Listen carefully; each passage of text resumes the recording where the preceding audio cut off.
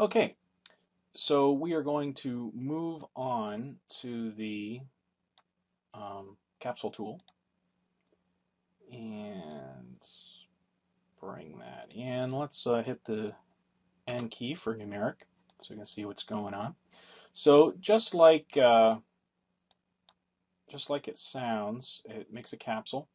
Um, one thing to take note of is that for some reason when you drag on the ends it doesn't really do much. Uh, but if you grab on the corners it uh, moves it in and out. So it's a little bit different than uh, some of the other tools.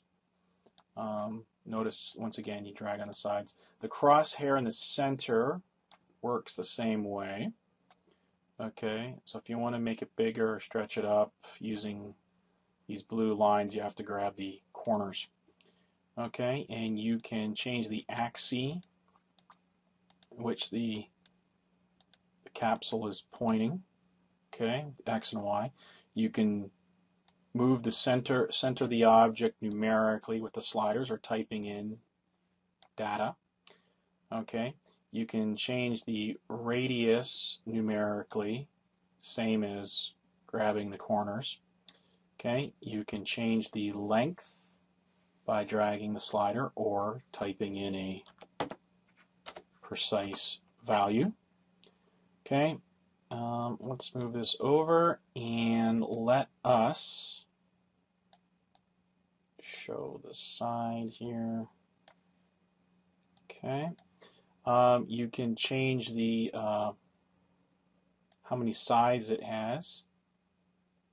See, the lowest it goes is 3, and then you can keep popping it up. You can type a number in, how many sides you want. If you want it uh, five-sided, type 5. If you want it 8, make it 8.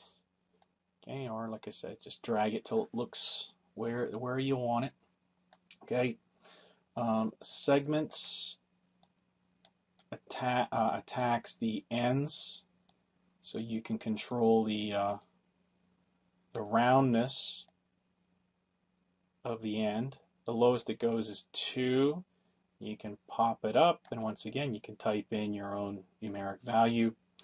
Um, let's move back. I'm going to show divisions.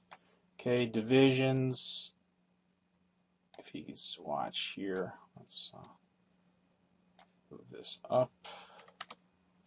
To center it. Okay.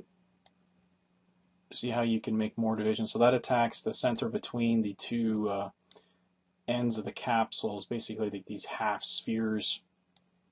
Okay, so once again, you can type in whatever value you want. Okay. Um, now, if you want to make UVs, click new and we'll call the new texture Bob. Okay, uh, let's use spherical. Oops, sorry. Create and we'll go make UVs. And let's see what something pops up in our UV window.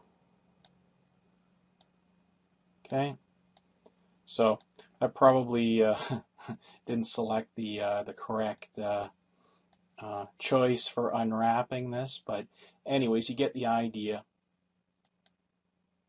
And we'll cover more stuff like this in a, in a uh, basic UV uh, unwrapping uh, video. Okay, so we're finished with our capsule tool and we're going to move on.